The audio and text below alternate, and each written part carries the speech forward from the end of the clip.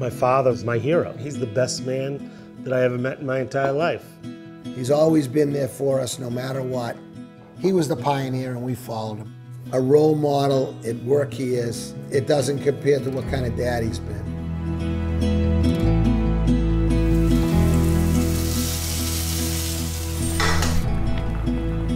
Everything looks good. Well, there's the steak and this chicken, there's the appies. All right, we guys ready? Pasta is up. Let's do it. Think Stevie's getting better and better as a chef. Well, you know what? He had nothing to do but cook today.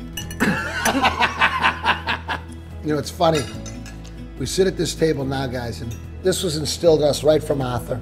You know, it's those family dinners every Sunday. Without even knowing he was teaching us, every day was a lesson.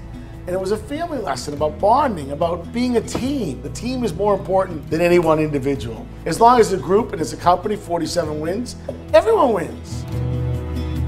When I was seven, eight years old, I found the subject matter of Arthur and what he went through to come to this country and start a business. I thought it was the most fascinating story, and I wanted to share it with as many people as I possibly could. So I ended up just every time there was a report I had to write, it was about Arthur. And finally, my fifth grade teacher said, No more. I mean, when I got married, the best man was my father. He was the guy that I looked up to more than I looked up to anybody else in the world. Hallelujah, I'll drink to that. Hey, yeah, all right. I'll drink that.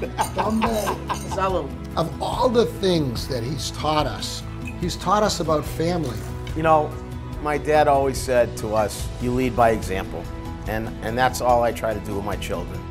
The only thing that I can say that you're all helpful and great to me.